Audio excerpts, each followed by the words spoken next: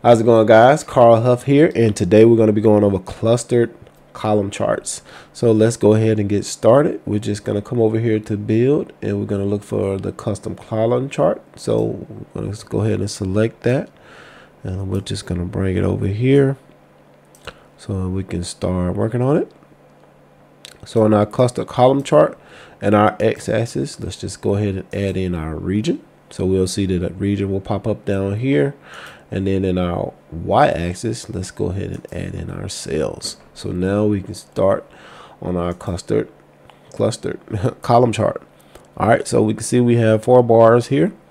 And if we go straight into it, we'll forget this part. So let's just go ahead and change sum of cells into just cells. And then we're going to format it. So we're going to click on this paintbrush and as you can see here we have our size and style. So we don't have anything that we want to change here but we do want to make sure that our title is in a good spot. So let's just move it to the middle. And that is good. We also want to let's just add in a divider here. And we'll give it the divider. And in our title let's actually also give it a background color so now we have a background color for the title. And then we can just go ahead and dive right into our x-axis. And we see here we have our x-axis is region. If we want to increase that, we can do that as well as change the font color. If we want to get rid of the title, we can get rid of the title.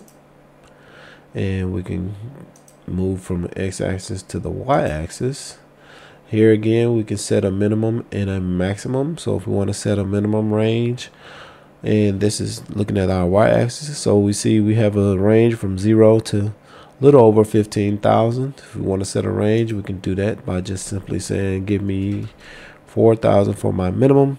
It'll start us out at 4,000. And then if we want to stop at 12,000, all we have to do is just type in 12,000 and it'll stop us at 12,000. So that's how you set the minimum and the maximum range there. We can also turn our values on or turn our values off, depending on if we want to keep them and see them. We can also turn off our title. All right, we can if we go ahead and click and expand this value section, we can see that we can change our font, font size, as well as our font color. We can also get rid of the display units and just show us a total value. If we go down to grid lines, we see here we have a few grid lines. If we wanted to turn those off, we can turn those off. If we wanted to make changes and modify them, this is where we can do that here. And if you want to take your time to do that, feel free to pause the video to do so. We also can turn on and turn off a zoom slider. The zoom slider here is going to show up on our y-axis and we can see that once we grab and pull on this zoom slider, it'll start sliding our data in a min and max kind of way. So that is how that works. If we go down here to columns, we'll see that we can change the colors to all the categories to a different color if we want to do that. Or we can change them by the region if we want every region to have a their its own specific color. We can do that there.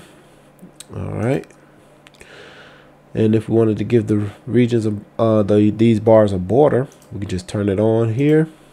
And we can pick a border color for the bars. And we can also increase the width.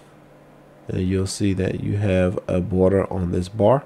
Now if you wanted to do it for everything you just click on all turn on all and change the color as well as start changing the width.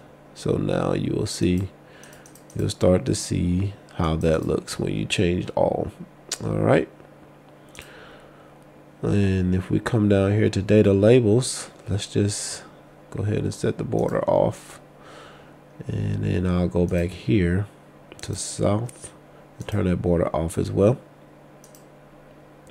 And we're going to go down here to data labels. So if we turn our data labels on, we see that we get our data labels there.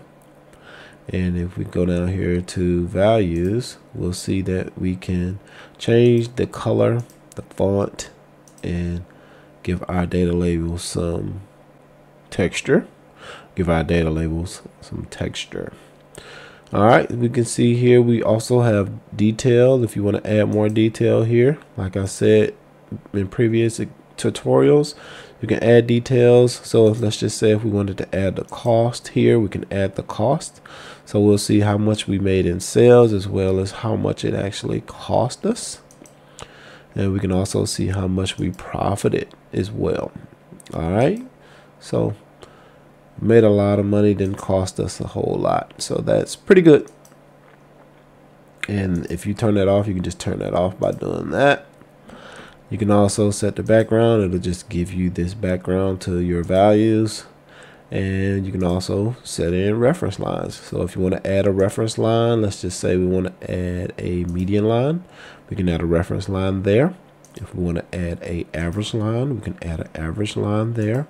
And of course, the min and max line is going to go either to the top or to the bottom. So if you want to add in a percentile line, you can add that.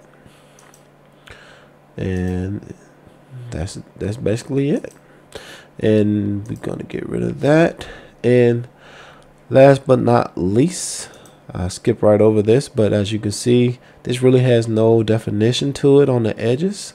So if we click into this and go into style, let's get, let's minimize that. If we go into style, we can add in our border.